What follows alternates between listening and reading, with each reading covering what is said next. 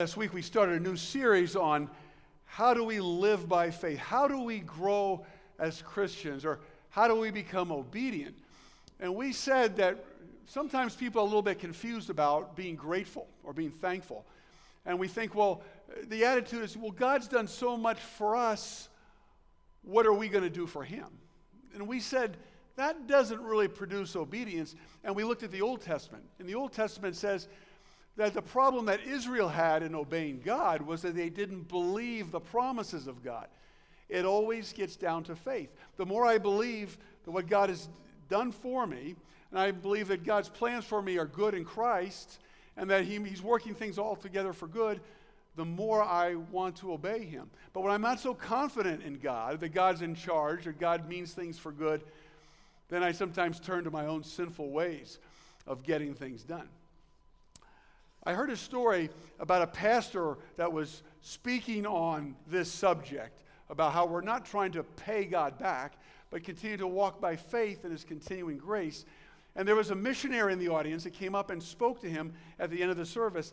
And this was a missionary who had spent a number of years in the Philippines. And he came up to the pastor and said, Did you know that this idea of trying to pay God back is something that often occurs? Uh, in the Filipino culture. And, and, and then the man explained something, and I'm sure I'm going to say it wrong, something in that culture called utang na loob. And uh, utang na loob is, could be translated very roughly as debt of volition. And somebody who benefits from a good deed, like if I do something good for you, then in that culture, you're sort of obligated to me for the rest of your life. So, you know, in a way, you know, you, you're, you're available at my beck and call because I did something nice for you, so you, you owe me something as long as you live. So, you see, it's good to be thankful when somebody does something nice for us, but there can also be some negative aspects. If you feel like you have to always be paying someone back. See, in this, in Utang na loob, the person who receives a benefit never knows when they've done enough to pay their benefactor back. Uh, so they wind up always feeling they can be almost like a slave. There are spiritual dangers this, when we have the same idea and we bring it into our relationship with the Lord. We bring it into our, our Christian life. Because in every human heart, there is this tendency to want to try to pay God back, like, we, like it's a business transaction. So we all know, we think of in our relationship with God in terms of what He has done for us, in Christ going to the cross for us, or in past answered prayer, and that's a very good thing. But then when we start thinking, well, that means I have a debt to pay Him, well, that's not good. We do, we do not honor God. We do not honor God by trying to repay Him for His grace. Grace, by its very definition, is something given to us freely that we don't deserve. You can't pay it back. See, we honor God when we believe his promises. When we believe he's been gracious to us, he's going to keep on being gracious to us, not because we earn it, not because we perform well enough, because that's just what he does for us in Jesus Christ. And we can rely on him to provide whatever we need. Five minutes from now, five days from now, 50 years from now, he'll always be there for us. And we saw this a little bit last time, last week when we were looking at the Old Testament. But some of the same ideas in the New Testament. Now, if you'll notice, we were just reading from Hebrews chapter 11. And verse 7 said that by faith, Noah, being warned by God concerning events as yet unseen. I mean, there was, Noah had never seen a flood before, but God told him there was going to be a flood. So, in reverent fear, he built an ark to save his household. And by this, he condemned the world, you know, he exposed their sin, and became an heir of the righteousness that comes by faith. You see, Noah was completely motivated. He obeyed God because he believed what God said. Everyone else looked around and said, what, what are you building that for? What's a flood? We don't know what that even is. But Noah said, God said it. He said he's going to save me and anybody else who gets in this boat. So I'm going to obey him. I'm going to build the ark because I believe what God has said and I trust him to bring salvation. Or you think of Abraham. He obeyed God when he was called to go out to a place that he was to receive as an inheritance, but it was a joke. It was a group of nomads. They were a bunch of nobodies. And God gives them, promises this big land that's going to be theirs. And yet that land was, was, was controlled by uh, big tribes, other nations. And, and Abraham and his clan were so little. But he believed the promise of God, so he obeyed him and went out living in tents. See, again, you see, it's his confidence that God was going to come through for him and do what he said that produced obedience. When John Huss, in the early 1400s, the reformer in uh, Bohemia, what we today call Czech Republic, he was, he was sentenced to be uh, burned at the stake. And they chained his neck to a, stake and they tied his hands behind his back. And as they lit the flames around him, the guy started singing a hymn. How do you sing a hymn when you're a shish kebab? How do you do that? Because you believe in the promises of God. You believe Jesus said, Great is your reward in heaven because I've won it for you with my blood. So you say, I'm going to sing when I'm being burned at the stake. He trusted that God would get him through the burning into glory. And it's his faith that enabled him to obey. And when we go through the Bible, it is always that way. It's our faith that causes us to obey God. The Bible does not say that because of his thankfulness, Abraham obeyed. Now, I suspect he was probably very thankful at times. But the real motivation was he believed in God's continuing grace and provision for him. Uh, Paul, in, uh, you don't have to turn there, but in 1 Thessalonians 1 3, Paul talks about the work. The Christian obedience is of faith. It's, it's our confidence in God that causes us to say, I'm going to do what he says. Paul doesn't call it the work of gratitude, but the work of faith. The apostle Paul in Galatians 2:20 says, I've been crucified with Christ. It's no longer I who live, but Christ who lives in me. And the life I now live, he doesn't say I live by gratitude or gratefulness. He says, I live by faith in the Son of God who loved me and delivered himself up for me. 2 Corinthians 5, Paul says, We walk by faith and not by sight. He doesn't say, now, we walk by gratefulness and not by sight. Now, that doesn't mean it's, it's not, we're not saying it's not important to be grateful, but that's not the real octane in the tank that gets us to obey God. I'll look at the screen at Matthew 6:30. Here's Jesus speaking to some very worried, anxious people. He says, But if God so clothes the grass of the field, which today is alive and tomorrow is thrown into the oven, oven will he not much more clothe you, O you of little faith? See, Jesus, the cure he offers them for our worry is faith. He says, if you would trust God more, you wouldn't be so anxious. He doesn't say, oh, you of little gratefulness. No, he says, you of little faith. Now, don't get me wrong. Being grateful to God, being thankful is is a beautiful thing. In fact, that's why we're here. I mean, being thankful is the heart of worship. We're thankful to God for what He has done and what He will do for us. However, it does not drive practical Christian obedience. Faith in who God says He is to us and faith in what God promises to do for us moves us to obey. You know, when Abraham went out, he, did, he just went out and he didn't know where he was going. I mean, he had this promise from God. It looked like against all odds he was going to become a great nation. He went out. He didn't know where he was going, but he did know who was going with him. He had faith in the one who traveled with him. It's like the Israelites when they came out of Egypt. There was a pillar of cloud to lead them by day, a pillar of fire by night. They didn't always know exactly where they were going to go and how long they were going to stay there, but they knew who went with them. And the same is true for you. You can always know that the God who promises, I'll never leave you, I'll never forsake you, he will always be with you, and you can know that. And he means what he brings into your life for good. It's part of his good purposes.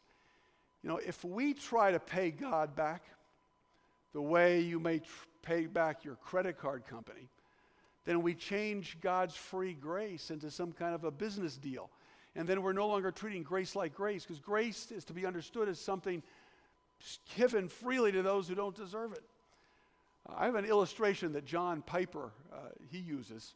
Picture your salvation as a home that you live in, and and and everything you need is in this home. Uh, it provides you with protection. Say it's stocked with food that'll last forever. Uh, it will never, decre- never decay, never crumble. The windows open up on beautiful views of the glory of God. And God built that home for you at great expense to himself. It cost his own, the, the life of his own son dying on the cross for you. But his son paid the price, and then God flat out gave it to you. Here, here's a house, take it with provisions, it's yours forever and ever. And the purchase agreement is called a new covenant, sealed by the blood of Jesus. And the terms read like this This house is yours as a free gift. God absorbs the entire cost for building and maintaining and stocking the house forever, paid in full by Jesus Christ. If you were then to, on your own, draw up a, a mortgage schedule to pay God back, you'd be crazy. It's already paid in full. You don't need to pay a mortgage. It's, all, it's just it's paid for and then given to you. See, then you'd no longer be treating your salvation like a free gift, but like it's some kind of a purchase. And then you'd no longer be viewing or treating God like your gracious provider, but like, again, some kind of a, a guy you're doing business with. And you would start living more like a slave, trying to pay God back under a set of demands that God never dreamed of putting you under. It wasn't his idea. Look at the screen. Here's an old song. I think it came out, what, the 70s, early 80s. Oh, be ye glad, oh, be ye glad. Every debt that you ever had has been paid up in full by the grace of the Lord. Be glad, be glad, be glad. Every debt that you've ever had has been paid up in full by the grace of the Lord. See, the Bible is always telling us to remember God's past grace, what He's done for us. In fact, the Jewish people, they'd always observe the Passover, and they would remember year after year how God saved them from Egypt and led them into freedom. Uh, the Jewish people would observe the Feast of Booths or shelters. And many Orthodox Jews still do this. They live in like temporary shelters in late September, early October. And they are reminded that when they came out of Egypt, God, and they, they had no permanent home, but God was taking care of them. We're going to go to the Lord's table in a little while. And when we take communion, among other things, we remember Christ secured our place in glory forever by his death and resurrection. We're going to be reminded of his past grace. However, when it comes to living the Christian life, we don't live in the past. See, you don't obey Christ in the past, you obey him today, or looking to, the, looking to obey him as when new things come into your life. We never pray, oh God, help me to be faithful to you and obey you last Tuesday. No, we, Tuesday's gone. We pray that we'll obey Him moment by moment as we go throughout our day today into the future. Uh, see, there's a divine power for ongoing obedience to God, and it's called faith. It's believing that everything God says He's going to do, who He is to you, that He's your loving Father, that you're adopted, that you're in the will, that He hears your prayers, that He's working all things together for good. Believing that is where obedience comes from. See, being thankful says, Look at all that God has done for you. Isn't it wonderful? And it is. But the problem is in our brain, we sometimes then we, we twist that, and then we say, well, I, we, you better live better for God. You better start working harder for God to pay God back. See, and that's when what we call the debtor's ethic starts to take over. And we start relying on our performance so that God will keep us or, or really want to bless us. And then, see, that's a subtle kind of legalism. We're not living by faith anymore, we're looking at ourselves. See, but when you and I are confident that God will provide everything we need in the future, uh, and, and we're confident that God is always good towards us, and that He is always going to be faithful to us, that makes us want to obey. Supposing you're in a situation at work and you you have a boss that asks you to do something that's unethical. Well, right away your mind starts thinking, oh no, what do I do? If I, if I, diso- if I do what my boss tells me to do, I'm doing something morally wrong. But if I disobey my boss, I'm going to get fired and my kids will be hungry. What am I going to do? And that, that's, there's a dilemma. Faith says, hey, God's taking care of you, right? If you lose your job, God still can provide for you and for your family. And so, because of faith, you say, I'm going to be honest and I am not going to do something unethical, no matter who wants me to do it. You see, it's the faith that enables you to stand firm in a difficult situation.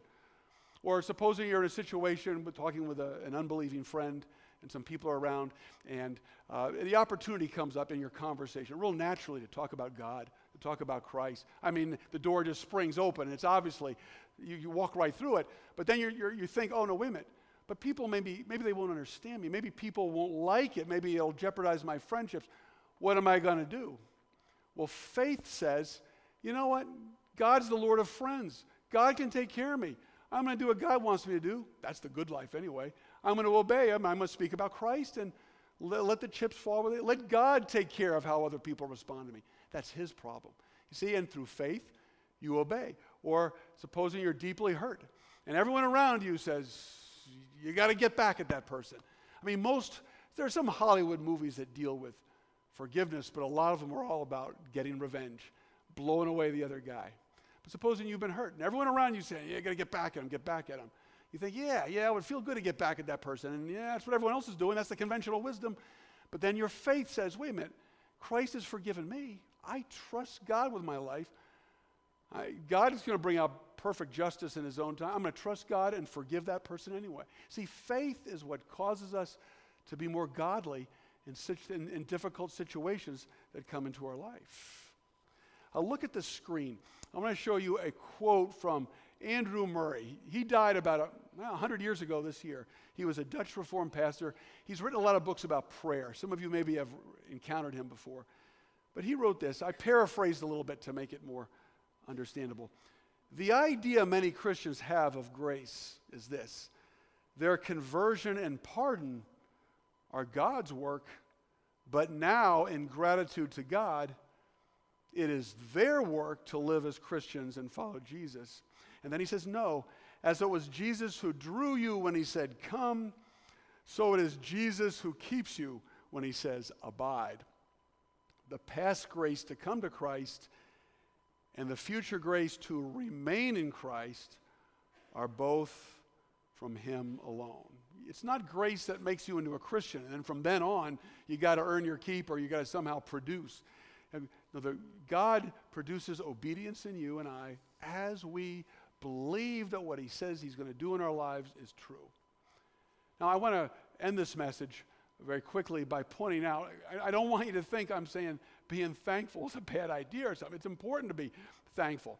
Um, uh, see, as gratitude, thankfulness rejoices in the benefits of what God has done for you, done for us in the past. Faith joyfully relies on the benefits of God's grace in, in the future, day by day, moment by moment. So when gratitude to God's past grace is strong, when we're, we're, we're thankful, oh God, I can't believe you forgave all my sins. Oh God, that's, that's wonderful. You've taken care of me. I can see that in my life. That, some, that sends a message inside of you that God must be completely trustworthy, so you'll trust Him the next situation that comes into your life that's difficult for you. So you see, being thankful strengthens your faith that leads to obedience. Now, what we're going to do next week is we're going to talk a lot about applying this, this idea of living by faith to combating anxiety. Worry, we all worry at times. Uh, most all of us experience anxiety or a knot in our stomach. Some, some of us experience that a lot. We're going to talk about how does living by faith in God's promises help us combat something like anxiety. And we'll see it all, it all comes down to believing. It's not just about uh, being thankful enough so you're not worried, but it's by trusting what God has said that helps alleviate the worry. I want to close this message with a, with a story. This is it's by a guy named, this took place about 10 years ago, a fellow by the name of Yahya Wahab, who lived in Malaysia. And his father died, died in January of 2006. And so Yahya paid off the, his father's phone. He had his phone disconnected, then paid off the remaining bill which came to like 23 US dollars, and then closed up the account. Then in April, a few months later, he received another bill from the phone company, and he opened it up, and it was a bill for, in US dollars, $213 trillion. And it's, there was a threatening note. It said, if you don't, if you don't pay this back in 10 days, we're going to prosecute. Now, I'm assuming it was either a, a, a, computer error or else some underworld people had gotten a hold of the old line and were using it for evil purposes. I don't know. But one thing is for sure Yahya Wahab could never pay back $213 trillion.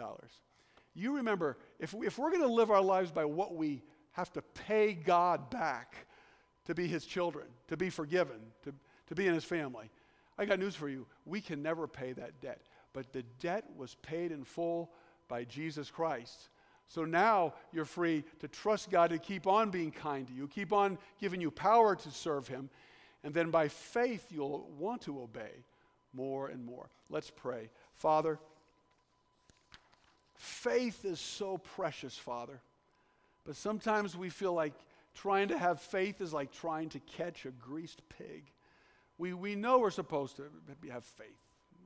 But Father, so, we, we, our, our flesh, we're so weak. We get so distracted. We get so worried. We, get, we think of all the things that could go wrong, and we're just not confident that you're right there with us when these things come up, when we feel like we're, we're tempted to lie or to steal or to be dishonest or, or to keep our mouth shut or we don't want to pray. Father, strengthen our faith so we can see you for who you are and what that you are always working in our lives. And you're, you've got the most wonderful plan for us together and as individuals.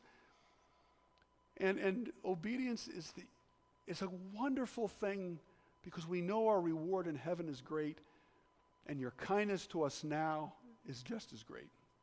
Help us to believe it and live like it. And if we do, Father, that is such good news.